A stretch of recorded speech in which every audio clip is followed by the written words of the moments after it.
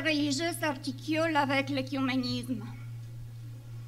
Et voilà une, perspective intéressante proposée par Gilles Barret, que je suppose à partir du titre de sa présentation, témoin du Christ dans la rencontre avec des musulmans.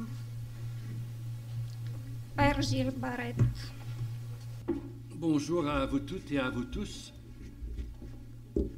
Témoin, c'est ainsi qu'on, après échange avec les responsables du centre écuménique, on a intitulé la conférence que je vais donner. J'ose pas dire conférence parce que c'est plus un témoignage, témoin du Christ dans la rencontre des musulmans. Je vais me situer rapidement pour que vous sachiez l'expérience qui a été mienne et qui a conduit à ce qu'aujourd'hui j'aboutisse devant vous. Je suis, j'appartiens à la Société des missionnaires d'Afrique, qu'on appelait autrefois les Pères Blancs, à cause de l'habit de, des Algériens qu'on a fait nôtre euh, au moment de la fondation. Congrégation qui est spécialisée dans le monde africain, pour le monde africain et pour la rencontre des musulmans et aussi pour la rencontre entre l'Évangile et les traditions religieuses dites animistes, ou nous on préfère dire des religions traditionnelles africaines. Deux ans de théologie à Leuven en Belgique, puis trois ans à la faculté de théologie catholique à Strasbourg, en France. C'est dans mon séjour en France que pour la première fois j'ai rencontré des musulmans en chair et en os, qui étaient étudiants dans diverses facultés puis on avait créé un genre de petit groupe euh, informel de rencontres. Ce n'était pas un groupe euh, musulman chrétien, c'était tout simplement, on se rencontrait, on parlait de nos études, pourquoi on étudiait dans telle branche, on parlait de nos pays d'origine, et puis de temps à autre, rarement, mais parfois, de religion. Mon travail universitaire en faculté de théologie catholique m'a poussé avec le directeur de la théologie, qui était le doyen de la faculté, M. Charles Wackenheim, euh, à creuser davantage la notion de l'unicité dans le Coran. Ça m'interpellait. Et avec mon directeur, on a travaillé davantage tout ce qui pourrait, tout ce qui c'est un peu prétentieux, ce qui touche à la théologie chrétienne et à la théologie musulmane, en particulier beaucoup d'approches euh, venant des églises orthodoxes. En 71, enfin, mon rêve d'enfance et de jeune en formation s'est réalisé. Je suis arrivé en 1971 en Haute-Volta, devenu en 1984 le Burkina Faso. J'y ai travaillé dans un diocèse du nord-est dont la population était à majorité musulmane. On m'a fait arrêter pendant deux ans pour que je retourne à Rome, que j'aille à Rome, étudier dans notre institut pontifical de Pisai, Pontificio Istituto di Studi Arabi e Islamici l'Institut pontifical des études arabes et islamiques, bon, musulmanes. Deux ans d'islamologie avec initiation à la langue arabe, surtout sous l'angle de la compréhension, et ça a été utile en Bible également, du sens des racines des mots. Puis je suis retourné au Burkina après ces deux ans. Pendant les 15 ans où j'étais là-bas, j'ai travaillé dans un une paroisse de 144 villages, 70 par 90 km de large, 100 000 de population, 5 000 catholiques, 2 500 environ catéchumènes, et le restant était musulmans, religion traditionnelle. Et ça ne posait pas de problème de fusion de paroisses. 144 villages, et puis ça allait très très bien. Puis été chargé pendant huit ans de la formation des couples catéchistes, futurs catéchistes. Et enfin, on m'a demandé d'être responsable de l'ensemble de nos missionnaires au Burkina, au Niger et au Tchad.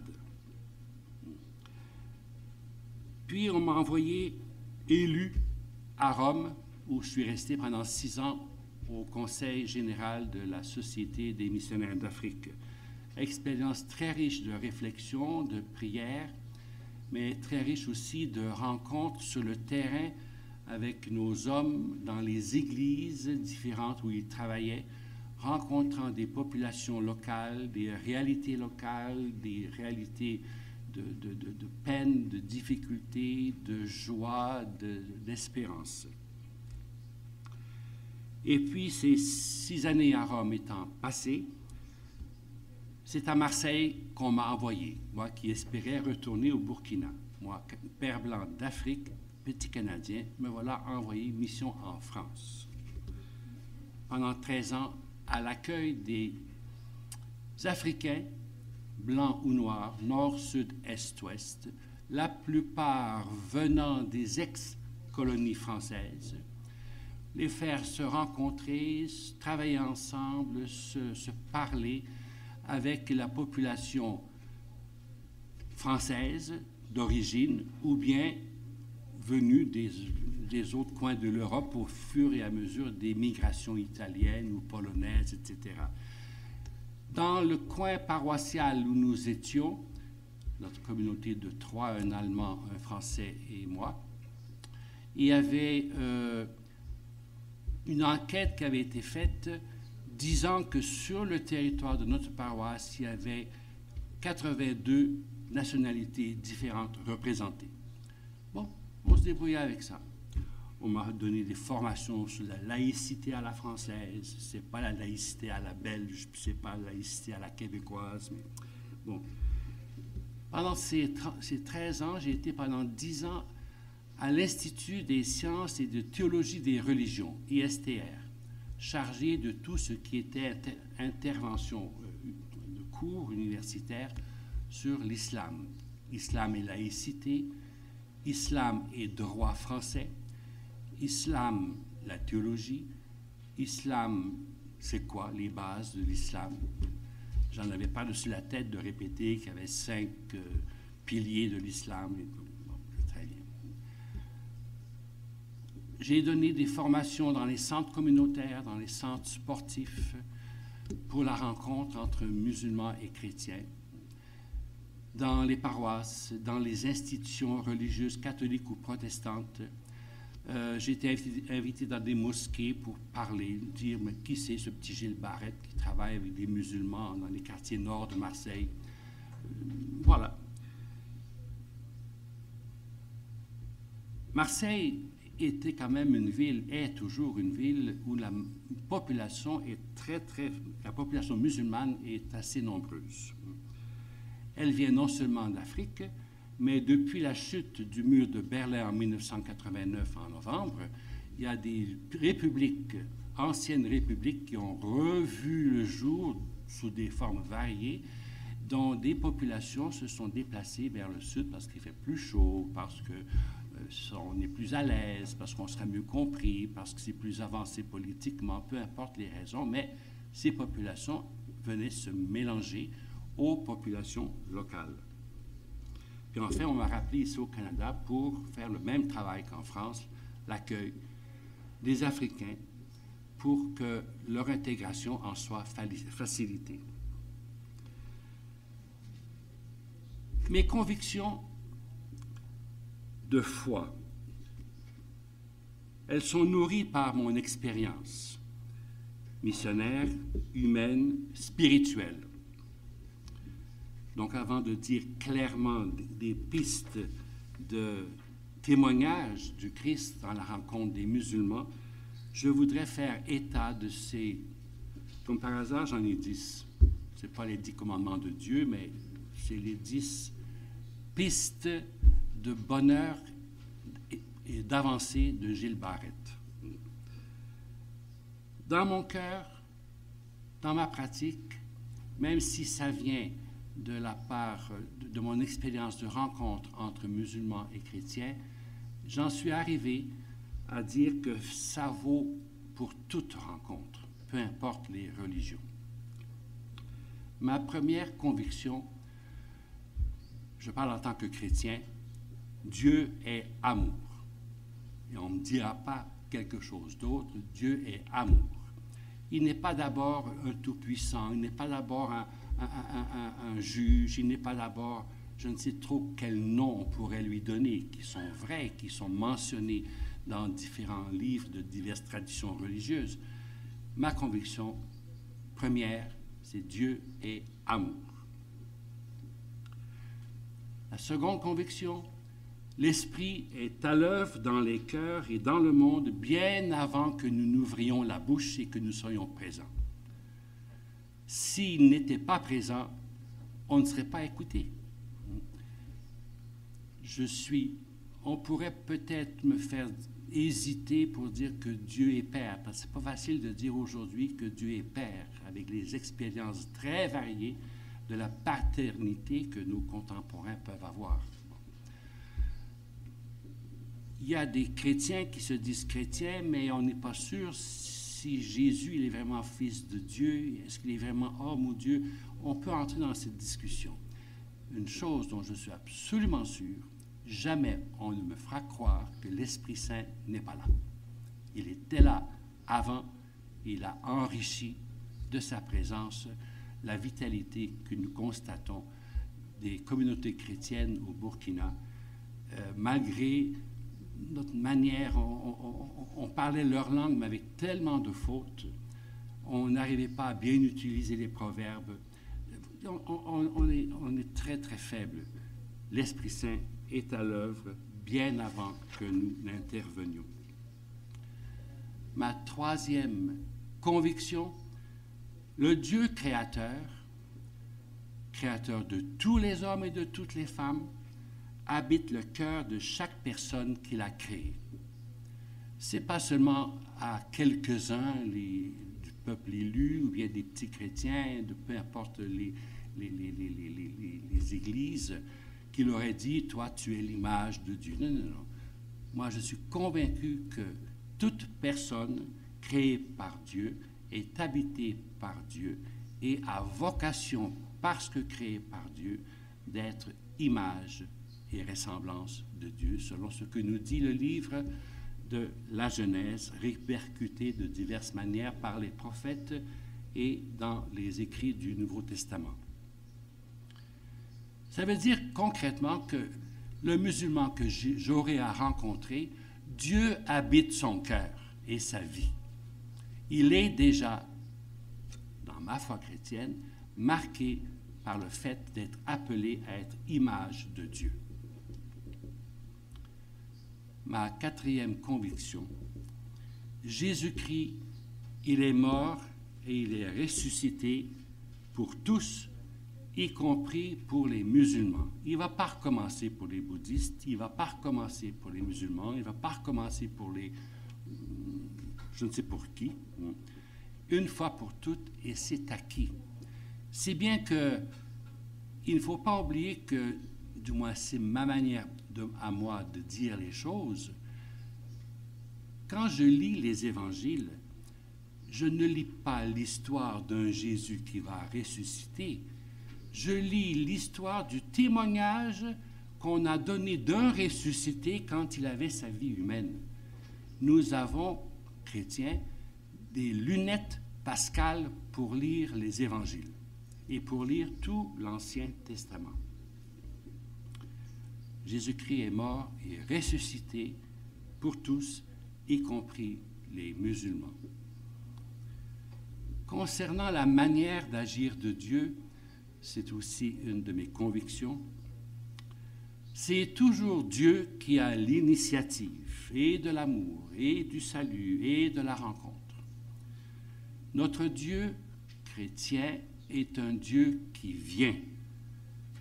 Jésus révèle le royaume de son Père et le révèle en étant parmi les hommes de son temps.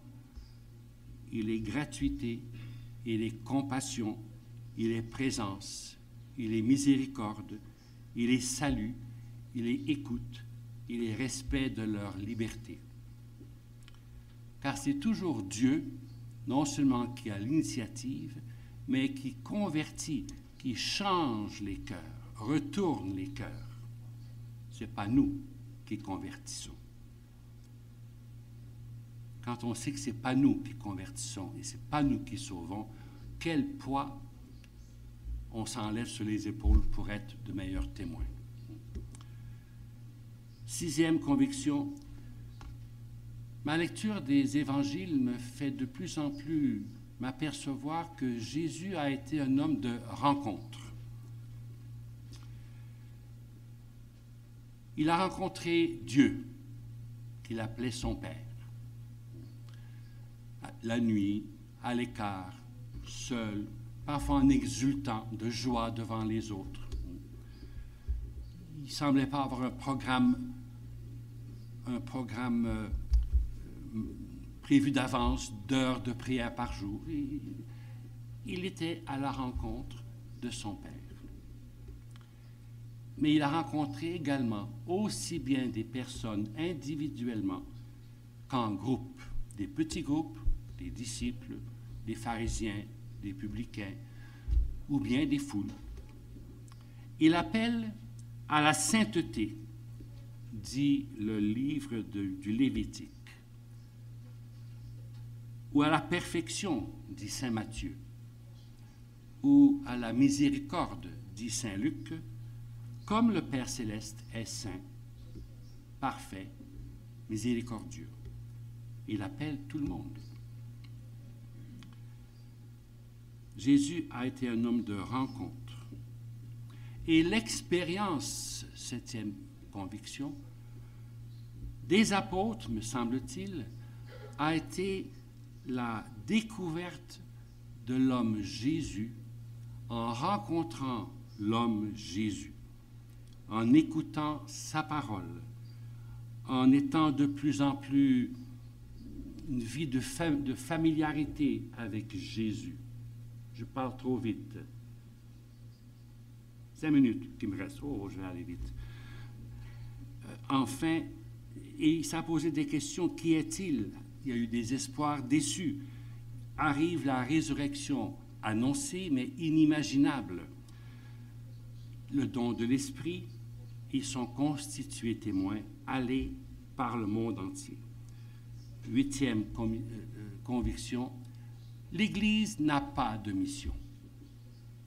L'Église n'est autre chose que la mission du Christ lui-même qui se continue, qui prend des, époques, des langages différents, mais c'est le Christ qui a une mission. Ce n'est pas l'Église qui s'invente une mission. Et donc, pour chaque baptisé, je parle en tant que chrétien, hein, je n'ai pas inventé ma mission, c'est celle du Christ à travers ma vie.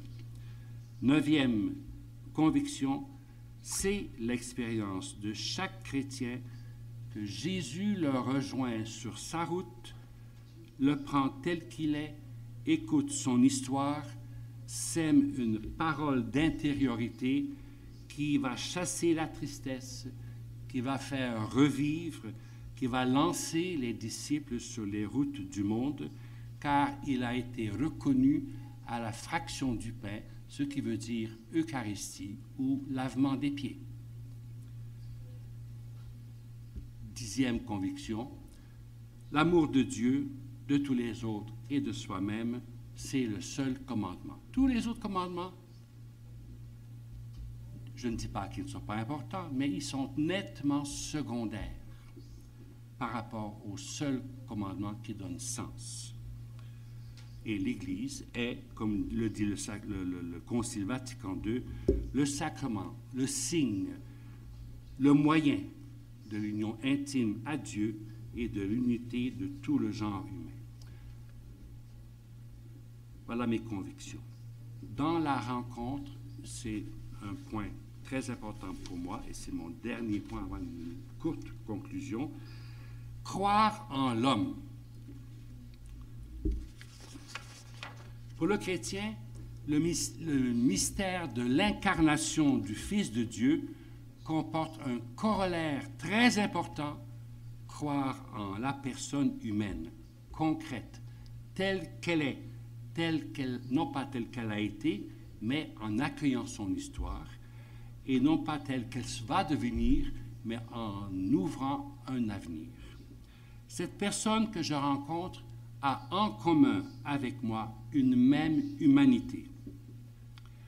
On ne peut pas prétendre croire au Christ vraiment Dieu et vraiment homme si on laisse de côté qu'il s'est fait chair, a épousé notre nature humaine, prenant la condition de serviteur, devenant semblable aux hommes et à son aspect reconnu comme un homme. Difficile de mettre en pratique le grand commandement de l'amour si ce n'est pas à la manière de Jésus. Aimer celui qu'on voit, c'est plus facile que d'aimer celui que nous ne voyons pas. La rencontre, pour moi, ne se fait jamais d'abord au niveau religieux. Elle se fait au niveau de notre commune, humanité, sans étiquette. Dans la rencontre de l'autre, il me semble qu'il faut nous détacher, nous défaire, et ce n'est pas facile, de peur, de préjugés, de généralisation, ce que j'appelle les étiquettes. Il est bien marié, il est mal marié, il est musulman, il est bien habillé, il vient d'ailleurs, il a tel comportement, il habite tel quartier, il a telle profession, il est jeune, il est vieux. Ce sont des étiquettes. Rencontrons d'abord la personne humaine, la rencontre de l'autre au niveau de notre commune humanité est cependant exigeante car elle suppose de ma part une croissance en liberté. Je ne suis pas un homme parfait. Je peux donc m'enrichir de la rencontre de l'autre et vice-versa, qui fait que je m'essaie de ne pas mettre d'obstacles dans la rencontre et en même temps exigeant parce que je n'ai pas à exiger de l'autre qu'il fasse le même cheminement que moi. Dans un premier temps, du moins. Croire en l'être humain. Quand on arrive au niveau du dialogue, on part de notre commune humanité entre chrétiens et musulmans. Ils peuvent venir d'ailleurs, naître, grandir, prier peut-être, se marier, souffrir, mourir. Ils ont eux aussi besoin de vêtements, de travail, de nourriture, de logement. Ils conduisent leurs enfants à l'école. Il faut leur dire bonjour. Euh, il faut les trouver des systèmes d'entraide, de, solidarité. Il y a des souffrances qu'ils doivent vivre. Les besoins fondamentaux de la personne humaine, nous les avons en commun.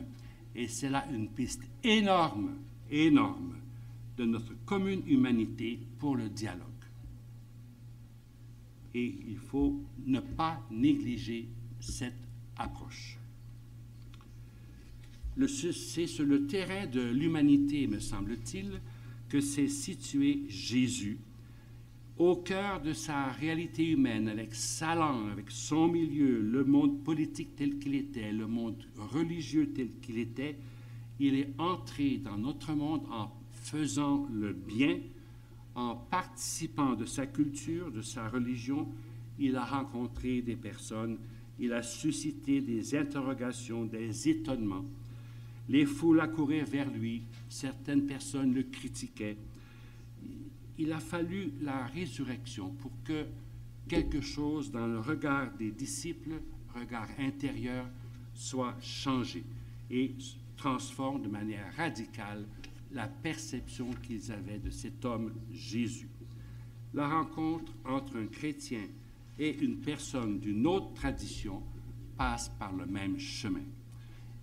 Il n'y a pas d'arthrose musulmane, il n'y a pas d'arthrose chrétienne, il n'y a pas de symptômes musulmans ou chrétiens à telle maladie. Il y a la maladie. Je peux aller puiser dans ma foi, et l'autre peut faire aussi, des énergies, des forces, de l'aide pour vivre un moment difficile ou une grande joie. Mais d'abord, la maladie, elle est une réalité humaine, de même que la mort et la naissance et le mariage. Ce sont des réalités humaines. Immense terrain de dialogue possible. Je n'ai jamais proposé à quiconque, tout missionnaire que je sois, de devenir chrétien. C'est mon agir, et je crois que l'agir parle beaucoup plus fort que toutes nos paroles. C'est l'agir d'un pécheur qui cessait à être fidèle, qui se sait aimé par Dieu et qui rencontre quelqu'un qui est sur un chemin d'appel à la sainteté, à la perfection, à la miséricorde. C'est toujours l'autre que je rencontrais, avec qui je travaillais, qui a engagé un dialogue d'ordre religieux. Toujours. Peut-être que moi j'étais trop timide, c'est possible, mais c'est toujours l'autre.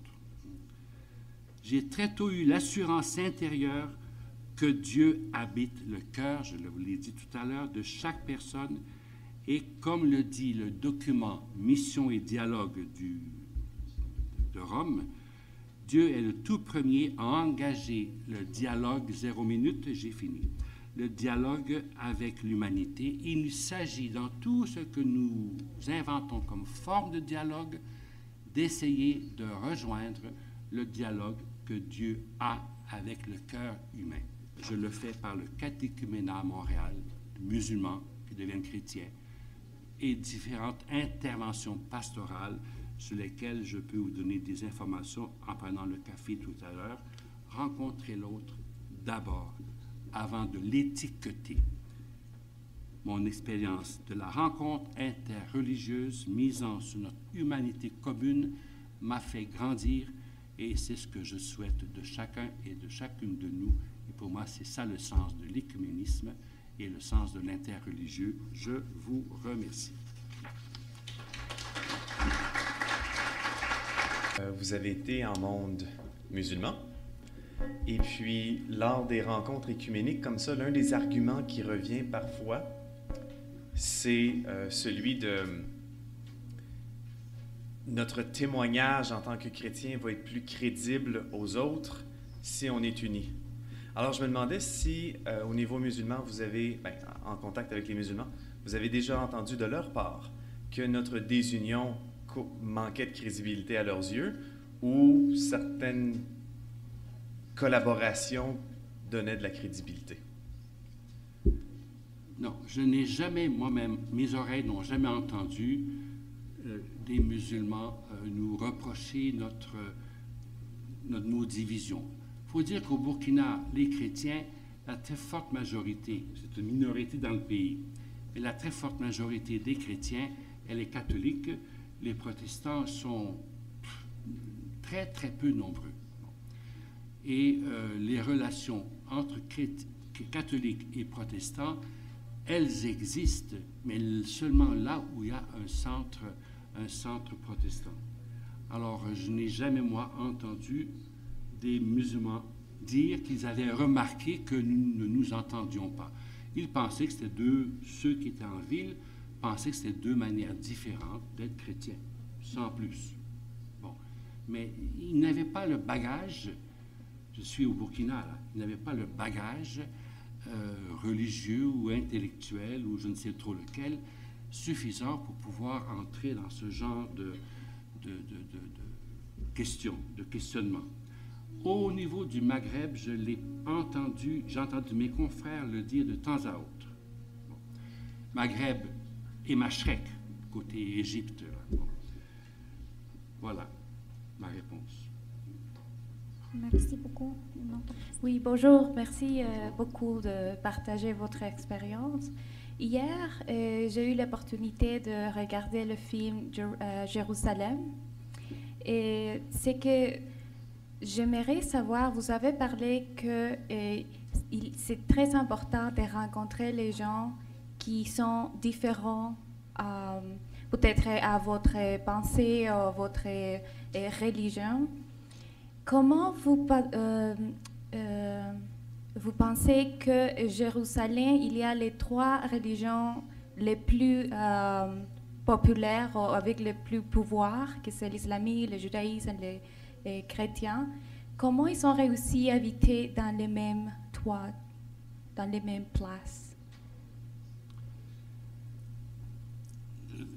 J'ai pas vu le film, c'est la semaine prochaine que je suis inscrit dans mon agenda pour aller voir ce film Jérusalem. Mais euh, je suis allé à Jérusalem déjà. Je vais vous, seulement vous dire deux, petites, euh, deux petits souvenirs heureux que je conserve de relations entre chrétiens, juifs et musulmans. Des enfants avant la, la scolarisation qui jouaient au football avec un ballon pas tout à fait bien rond, heureux comme tout, peu importe leur religion. Heureux et quelqu'un qui me dit, c'est dommage, ils vont aller à l'école. Je dis, mais pourquoi? Dès qu'ils vont aller à l'école, les parents vont suivre ce qu'ils font à l'école, ils vont apprendre qu'ils sont juifs, qu'ils sont chrétiens, qu'ils sont musulmans, et attention, attention, attention. Voilà. Je crois que la commune humanité, c'est comme si, dans cette petite expérience que j'ai vue, on l'arrêtait à la prime enfance. Or, elle doit continuer. Notre commune humanité, non pas l'étiquette juive, l'étiquette chrétienne, l'étiquette musulmane.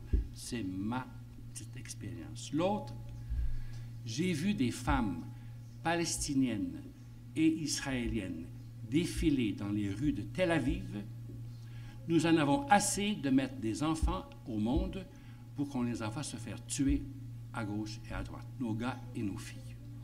Femmes musulmanes, femmes juives et aussi des femmes chrétiennes, main dans la main, pour dénoncer cet état des choses qu'elles constataient dans le pays.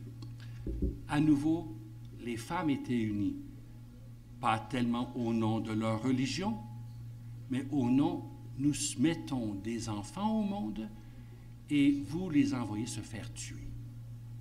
Je pense que il faut creuser, je pense que nous n'avons pas assez creusé la dimension riche de nos humanités, de notre commune humanité, qui peut être encore enrichie par nos expériences religieuses, plutôt que de commencer par s'afficher musulman, juif, chrétien. Mais je suis peut-être un, je suis peut-être un hérétique, mais je suis heureux comme ça. Merci. Merci. Eh bien, c'est un prêtre qui, a, qui venait du Liban, hein, qui a vécu avec les musulmans. Alors il disait, il a dit, euh, il a fait des recherches dans le Coran, il a dit le mot amour ne, vient pas dans le Coran. Il dit qu'il n'a pas, jamais n'a pas trouvé le mot amour dans le Coran. Et puis il a dit aussi que les musulmans ne veulent pas employer le, nom, le mot père pour Dieu, à propos de Dieu. Hein. C'est sa constatation.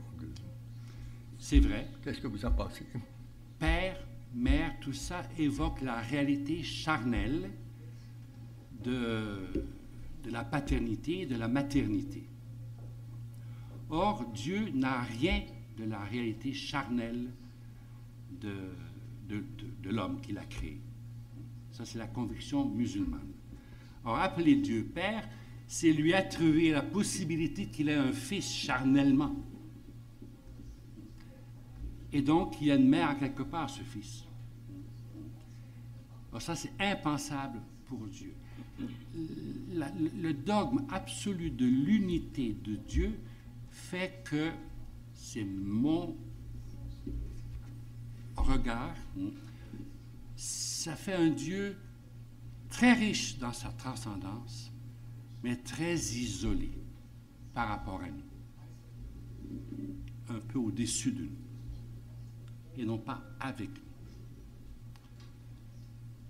Père, Amour, deux fois le mot est dans le Coran.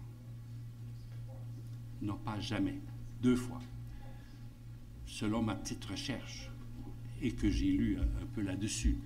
Une fois pour dire que Dieu aime ceux qui suivent son prophète, ce qui pourrait dire que Dieu n'aime pas ceux qui ne suivent pas son prophète, Mohammed. Mais je laisse les théologiens et les juristes se débattre avec les textes de leur histoire. Et l'autre fois, c'est qu'il y avait un véritable... Un Dieu aimait euh, l'entourage des premiers compagnons du prophète, parce qu'il donnait de bons témoignages de la foi au Dieu unique. Voilà. Mais de là à faire de l'amour le, comme en christianisme, commandement, non. Pourquoi les musulmans mettraient à moi poser une question Je n'ai pas pu le faire pendant deux jours.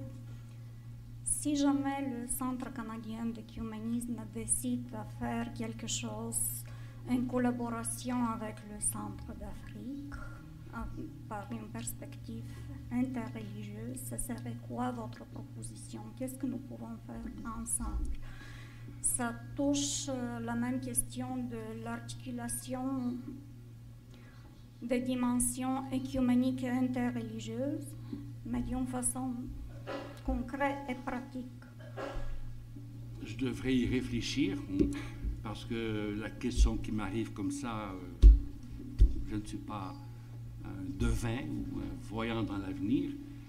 Nous, avons, comme Centrafrica, 25 ans cette année, une expérience d'accueil des Africains, peu importe le pays d'origine, la religion d'origine, pour faciliter leur intégration dans le monde d'ici.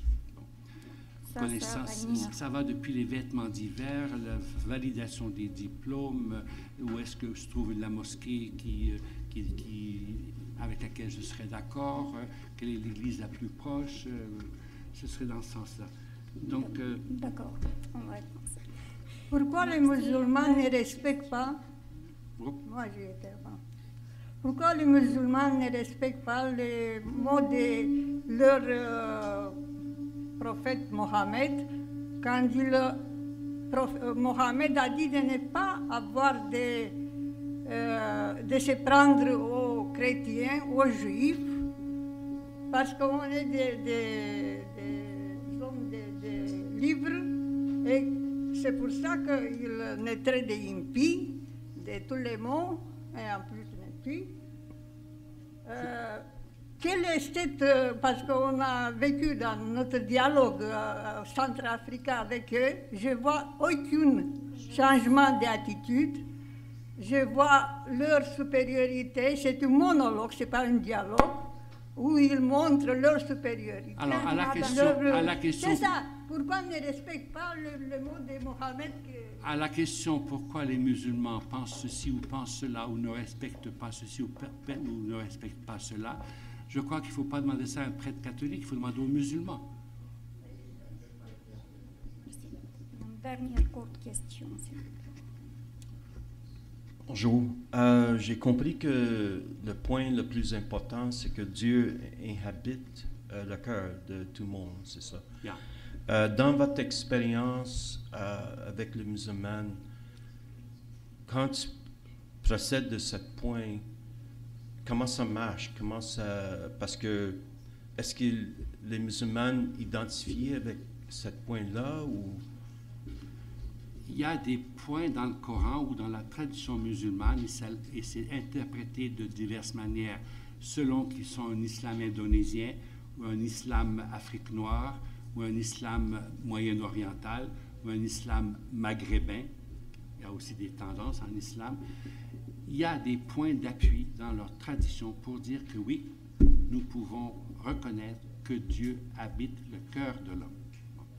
Mais oh, il est plus proche même du cœur. Dieu est tellement proche de l'être humain, beaucoup plus proche que la veine jugulaire ne l'est de, nous-mêmes. Ça, c'est dans le Coran et c'est répercuté de différentes manières dans les hadiths, les, dictons, les proverbes, non, les dictons plutôt attribués à, la tradition musulmane. Donc, il y a des points d'appui du côté musulman pour que ce point de Dieu présent dans le cœur de l'homme, parce que Dieu a créé, nous puissions nous entendre. Mais évidemment, la difficulté est la manière dont les uns et les autres peu importe qu'ils soient chrétiens ou qu'ils soient musulmans, parfois à l'intérieur du christianisme, parfois à l'intérieur de l'islam, les, manières d'interpréter les choses. Ça va bien ou moins bien ou moitié bien.